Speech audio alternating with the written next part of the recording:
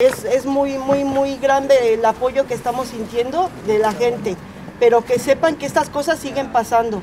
Y desgraciadamente eh, a mi compañero Apache Pérez eh, le- lo van a dejar eh, sin su casa que tenía pagada, porque cuando nosotros nos dimos cuenta que no podíamos hacer frente a esas mensualidades tan, tan grandes, solicitamos ya hace años que se nos diera la, la dación en pago de la vivienda esta de la calle Árguedas 10.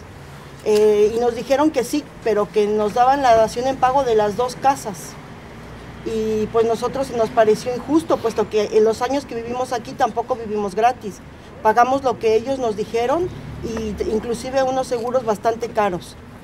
Y, y ahora, bueno, hemos tratado de hacer presión gracias a la plataforma y a nuestro abogado que ha sido como un ángel para nosotros. Esperemos que sí, esperemos que, que nos dejen, por lo menos que nos quiten la deuda. Eso es lo que yo quisiera, pero a ver, vamos a ver, vamos a ver qué, qué va transcurriendo durante esta mañana. Y Pachi es una persona que tiene una minusvalía reconocida y tiene un problema en las rodillas y por eso no puede trabajar. Y precisamente por eso es que nos cambiamos, por el- porque el otro piso que él tenía era muy incómodo para él estar subiendo y bajando. Entonces, bueno, pues sí, se queda sin su piso que ya tenía pagado, una persona que tiene una problemática física, un problema físico se queda, se queda en la calle. Bueno, pues yo lo voy a apoyar, él siempre me ha apoyado a mí y yo creo que ahora es el momento de que yo también lo voy a apoyar, pero me parece injusto para él, porque ya tenía su casita pagada. Estamos en, disposición de, de- de llegar a un acuerdo, pero ellos pues nos han dicho que eso, que las dos casas y que, y que nos vayamos y nos dejan todavía la deuda.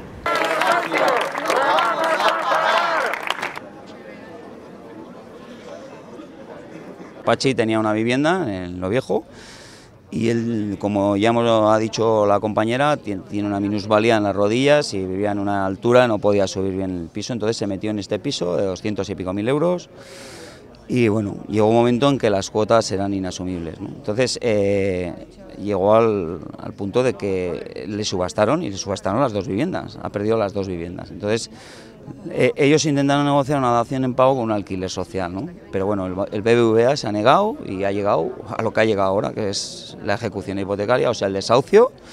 Y bueno, ayer bueno, ha habido algún pequeño problema con procuradores y abogados y nos enteramos ayer a la tarde movilizamos a la gente, eh, que de hecho dar las gracias a todo el montón de gente que se ha presentado y bueno, pues eso, lo vamos a parar sí o sí. Y, decir y dejar claro que esto está pasando cada día en Pamplona, mucha gente no lo pelea y la gente que no lo pelea se va a la calle. La gente que lo pelea puede que se vaya a la calle, pero si está claro que si no peleas, es seguro que te vas a la calle. Esto era para denunciar la situación en la que nos, en la que estamos una vez que somos desahuciados, Eh, aun llegando a un acuerdo con Gobierno de Navarra o con quien sea que nos dan un piso en cualquier otro sitio, llegamos a ese piso y no tiene suministros. Entonces, eh, claro, eh, nos quedamos incluso hasta 30 días sin suministro de, de luz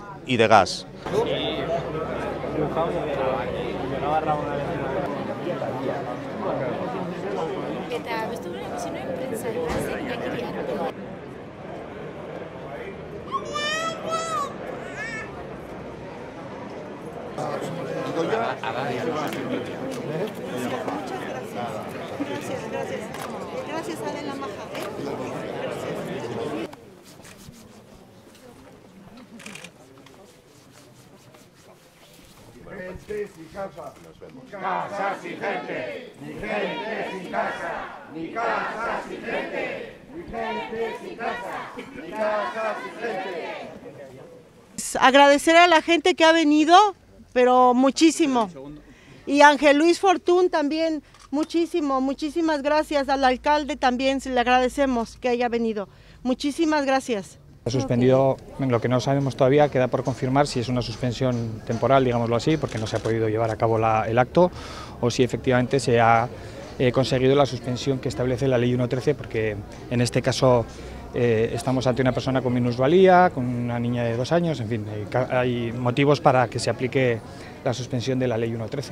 La historia de Pachi Doya es que eh, vivían, en una, vivían en una casa que ya la tenían pagada, eh, necesitan cambiar de vivienda por la minusvalía de Pachi, entonces cambian a esta casa, piden un préstamo con el, con el Banco Bilbao Vizcaya, bueno, las condiciones en el año 2007 les, hacen que eh, generen una deuda en donde el Banco de Vizcaya, que es el resultado final, se ha quedado con la vivienda que dejaron en la calle San Lorenzo, en procedimiento de ejecución hipotecaria con subasta de esta vivienda y aún todavía una deuda de 20.000 euros. Todos por venir, se ha parado el desahucio, se ha suspendido.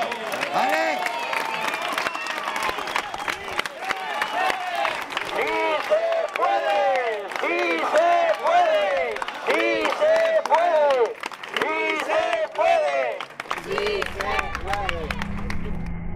Ciao, ciao.